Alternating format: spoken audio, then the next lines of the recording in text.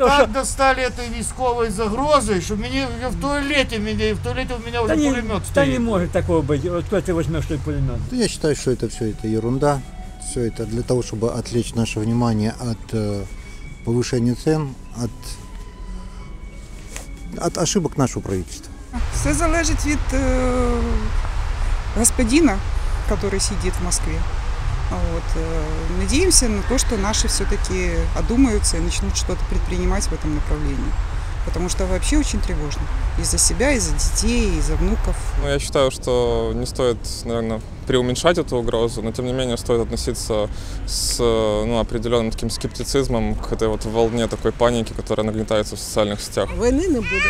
Це лиш би е, кудись списувати гроші, це раз.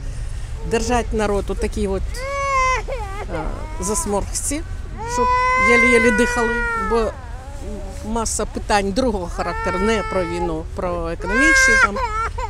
До політики там дуже-дуже далеко. Не думаю. Потому что в России достаточно территорий. Это просто чистая политика, ничего больше. Не, не будет. Наши военные нас, как говорится, помогут нам. Поэтому все будет нормально. Это больше шумиха. Ймовірність є, звичайно, є. Да. Особливо в нас на південних е, е, кордонах вона є. Очень не хотелось бы, это будет э, окончательная точка, наверное, между двумя странами. У каждого есть родственники здесь, в принципе, которые живут и в России, и в разных уголках, так сказать, нашего бывшего СНГ. Что сказать российского? Товарищи россияне, вас тут не ждут. И все готовы.